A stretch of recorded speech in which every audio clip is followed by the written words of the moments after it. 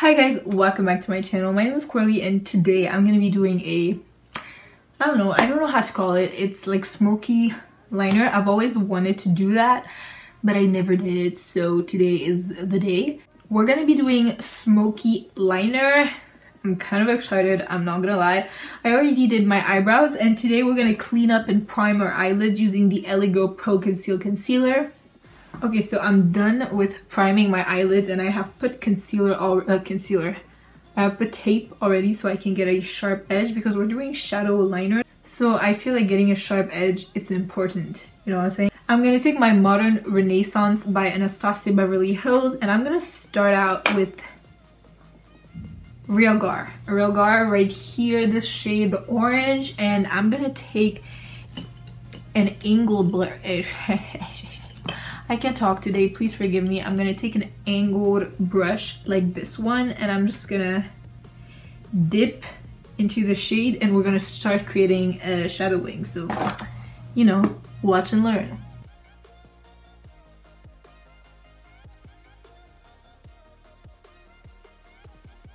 When you create this little part of the shadow wing, you're just gonna go and buff it out.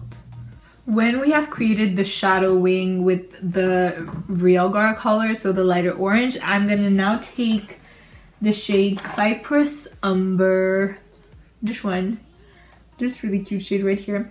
And it's super, super, super pigmented, so I'm gonna keep it very low so it doesn't affect my smoky eye too hard. I just want depth and I want it to be a darker, a darker brown, you know, darker shade.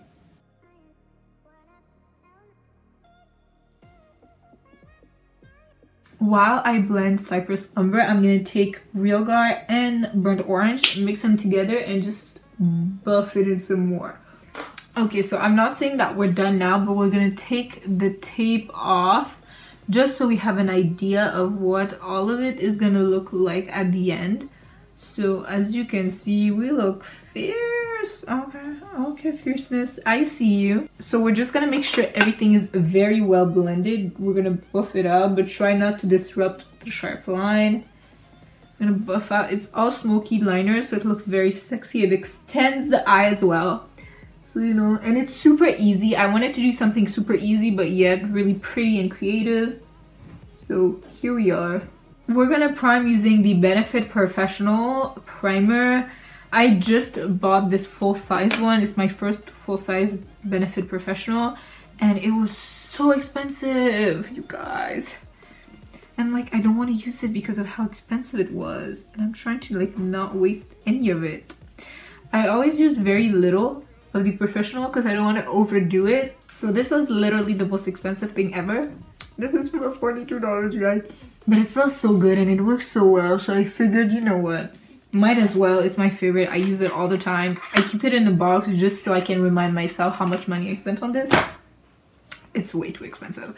But um yeah, following along, I'm to take my Anastasia Beverly Hills Stick Foundation. And I'm to put this, look at my face. Like so what I'm gonna do is I'm gonna put some Becca Shimmering Skin Perfector just in the high points of my face. I'm already gonna apply it just so I can get a certain glow, but I also want the glow to mix with how when I'm gonna blend the foundation. I don't know how to explain it, you guys, but so I'm gonna wet my sponge a little more and I'm gonna blend everything together. I honestly don't know why I put this because I'm going to put concealer on top. So don't do as I say. But you know kind of do. so for concealer, I'm going to take the same one I used on my eyes.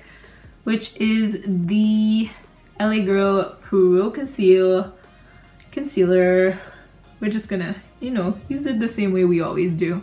As you guys can see, my concealer is 50 shades lighter than my foundation. I don't know. I've been more into the more natural looking concealer recently. I don't know why. I'm not into natural anything, but yeah. Also, you guys, I have news for you. So I'm gonna talk while I blend. I bought the Morphe 35B palette. Oh my god. Uh, I haven't received it yet. It's shipping to my house. I think it's supposed to be there like next week. And you guys, I am so excited to create creative, colorful looks because I love creating neutral looks, but I've always wanted to step my game up a little bit. So color is gonna really help me with that. And I'm so excited.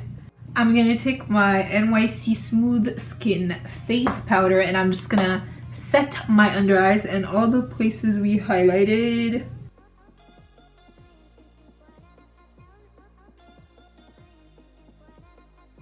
Um, I'm gonna take my Maybelline Super Stay Better Skin Powder. I'm just gonna give everything a very light powdering to give some color back to the skin because as you may or may not know, baking can really take the color off of your face. Gonna make you look a little dull, you know what I'm saying? We're gonna complete the eyes going in with this brush as well as the Modern Renaissance and taking real Realgar. I'm gonna take real Realgar and Burnt Orange mixed together. so extra. And then we're just running that on our lower lash. Oh girl. Running that on the lower lash line like so. Gonna do the same thing on the other eye. We got the lashes applied and truly um, I had a lot of difficulty because recently I've been using my thicker lashes that I found from Kiss and they're so much easier because they're less flimsy so I just plop in and they like stick whereas th these ones are so flimsy and it's been a few days since I've worn them so I wasn't used to it. So we're gonna go ahead and fix it. I have glue all over my eye. I can guarantee you that there will not be any close-up eye shot with this because it's just not it's just not good enough you know what I'm saying? Today I'm gonna dip into this extremely warm shade right here because I feel like it. I'm just, the sun is like, we have no sun whatsoever and we're in full day. I'm gonna tell you what time it is. It's 2.30 and we have no sun. We haven't had sun for the whole day. It was very gray and gloomy, which I personally really don't like. I don't like gray and gloomy. But guess what? Here we are. As you can see, I have a big pimple right here. We're gonna turn this into a mole. But before, I'm gonna highlight. I don't think I've used this highlighter on my channel before. This is the Physicians Formula Warm Nude Shimmer Strip. I'm gonna take a very densely packed brush and I'm gonna mix the third row and the first row because these are these are basically the shades I want to have on my face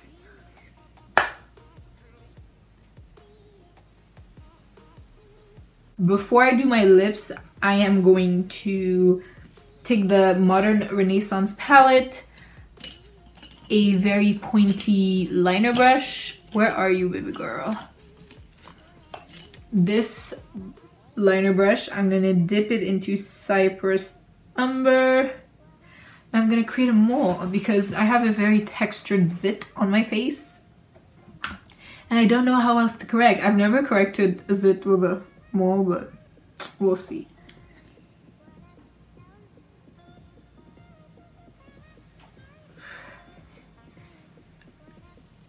Truly looks like a mole and to make sure that this doesn't look the like the most unnatural thing which it really is the most unnatural thing we're just gonna take the powder brush so it looks like we covered it in makeup i learned this technique from desi perkins I'm sorry, why was I posing? I don't know.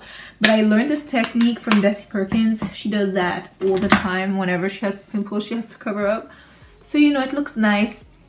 I'm also to go into my beauty blender where I had a little bit of powder and just dab. Because we want it to be as natural as possible. I'm to take my Maybelline matte lipstick in the shade Raw Chocolate and we're gonna create a masterpiece. Oh my god, my lips are so cracked.